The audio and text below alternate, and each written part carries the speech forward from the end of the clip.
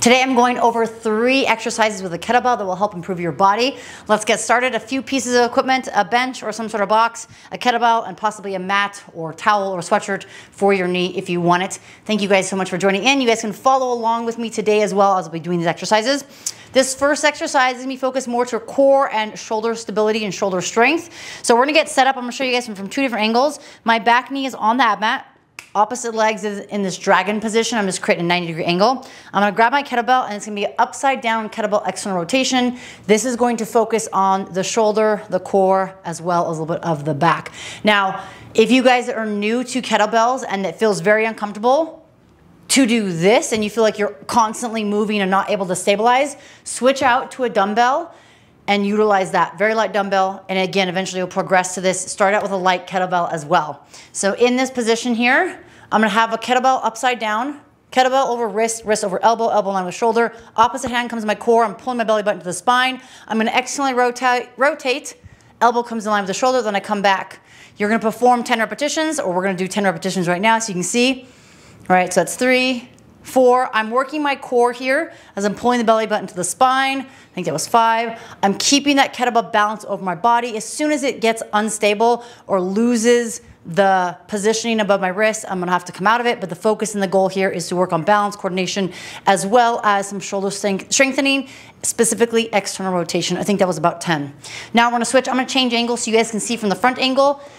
You don't have to use an ab mat or a mat or cushion. I do for my knee since I have seasoned knees, we'll say. Old age. oh man. If you guys are new here, I'd love your support by subscribing, turning on the notifications bell. And if this is helpful and entertaining and you like it, please share with others. Please feel free to leave a comment below of what you want to see more of. Um, pretty sure it's not just me. it's what I'm sharing education wise. So I think that was about five, maybe six. But notice how this front position, I'm bringing that form and wrist and lower arm directly on my shoulder, maybe slightly inside, but then I come to this 90 degree angle and then come back out. Again, 10 reps on each arm. That's me working on strengthening the shoulders. Next exercise, we're gonna go to the lower body now. This is gonna be more of a dynamic or static exercise of a stretch, but it's gonna be great for hip rotators. If you have tight hips, you sit a lot, you drive a lot, you have back issues or pain, raising the hand from a wah. All right, so you're gonna sit the edge of the bench or a box. You're gonna, I prefer um, a bench because you're gonna get more of a 90 degree angle here. This isn't required, but if you have a box, you're a little bit higher up, it may be more challenging, maybe easier. Everyone's a little different. You need to find what's best for you. I'm sharing what I found best for myself. In here, I'm gonna take this figure four position, so I'm gonna bring my ankle on top of my thigh, so I'm creating this figure four position. Now, if this is very difficult to get into and this stretch right here is enough, no kettlebell is needed, right? We're gonna use the kettlebell to amplify or add to this exercise.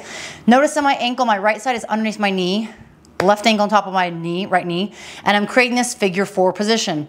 Now, if this is super tight, super tense, you can just stay here, use your hand on your thigh. Try to avoid pushing on your knee joint. Think more thigh, low thigh, or thigh right above your knee. From here, I'm gonna hinge forward. There's a couple different ways you can do this. I can either round if you're really, really tight and you can only get flexion or um, movement in your body by rounding the back. If you're a little, if you're a little more flexible and you have the ability, hinge from the hips, keep the back flat, get as far forward as possible in the stretch. If you're like, oh, that's not too bad, I want a little more, that's where the kettlebell comes in. Start light, please. If you don't have kettlebell, dumbbell works. I'm gonna place that kettlebell not directly on the knee joint, slightly closer to you, right? So more to the midline of your body, more to your hip. I'm gonna place that kettlebell. Now, if that's super tight and tense, two options or two ways to make it less tight. I can either bring that kettlebell closer to my thigh, hip, middle thigh, excuse me, or I lessen the load, right? Now I can either hold onto the handle or I can place my hand on the bell and you're gonna hold this 30 to 60 seconds. Now, if this is super impossible to hold that time frame, shorten it 15, 20 seconds. If you're like, oh, that's not that much, I want more, increase that time to a minute 30, 90 seconds, two minutes, or again, hinge from the hips. Now you can also make this dynamic, so meaning I could move while I do the stretch. I could lift my leg up, hold for three, two, one, then release, let the weight pull it down. Again, we'll do that right side or left side, excuse me, and then we'll switch opposite side. Now, if you have any limitations, irritations, please listen to your body. I'm demonstrating everything that I'm capable of for myself. I will tell you my right side is tighter. Notice that my right knee is a lot higher than my left knee. I'm dealing with sciatica on my right side, herniated disc, and so I'm able to adjust and I need to um, be aware of what I'm doing to not make it more of an irritant. All right, so same thing, kettlebell on the thigh, not knee joint, please. Same thing, I get stacked hinge forward. Now I'm significantly tighter when I do this exercise here. I start to feel that pinching in my back. So I'm just gonna stay right here. If you guys do have an irritation or something you can't push through, don't push through it, right? Everyone's a little different, but this is the second exercise. 30 to 60 seconds to start. We're gonna go in kind of a, um, like a waterfall. So you're going to do that external rotation with the shoulders, then you're gonna do the stretch on each side. Pretty sure it's been over 30 to 60 seconds as I'm trying to talk through this, but that's okay. All right, so that's the second exercise. Third and final exercise we're gonna get into here. We're gonna move this ab mat out of the way a little bit. This is gonna be more for the full body, meaning we're gonna get a little bit of core, a little bit of balance, stability. You're gonna take this light kettlebell. Dumbbell also works as well, so if you don't have a kettlebell, you can utilize that. You're gonna get the kettlebell to the outside of the hand. Now, if you've never had the kettlebell in this position, meaning I'm not holding onto the bell of the handle, I have the kettlebell resting on my forearm, back of my wrist top of the wrist, however you want to think about it. This will not feel the most comfortable. You can add a wrist strap, you can add some sort of cushion if you want, some wrist, wrist strap or wrist tape, whatever you like. Eventually you'll get more comfortable. Notice that my thumb and finger are cradling the edge in the corner here right now. So I'm actually having it at an angle versus straight up. It's gonna make it a little easier to rest on the forearm. From here, we're gonna do a kettlebell windmill. I'm gonna widen my stance significantly. So think of a standing straddle where my feet are outside my shoulders, feet are parallel to one another. I'm gonna press my arm overhead, Eyes are gonna stay on the kettlebell. Wrist over shoulder, arm locked out as much as you can. Opposite hand finds your thigh. You're gonna slide your hand down your thigh as low as you can go. My hip just popped if you guys heard that. If you can get to your ankle foot, beautiful. Now you don't wanna be resting on it, you just wanna use this as a guide. So your core, your midsection should be bracing. I'm pulling the belly button to the spine. I'm getting a little bit of twisting, rotation.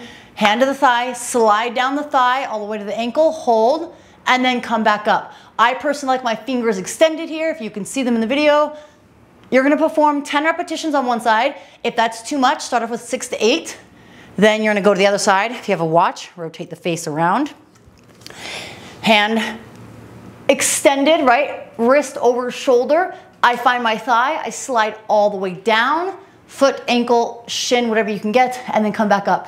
Now this is very difficult. Maybe stop right at below the knee and then come back up right? If you feel comfortable, you can go all the way down, go all the way down, and then come back up. This is gonna require some shoulder mobility, also gonna require some flexibility, positioning. If your hamstrings or inner thighs are very tight, you might not be able to get all the way down there. It might be even more challenging to hold a, a load like a kettlebell. You could use a dumbbell.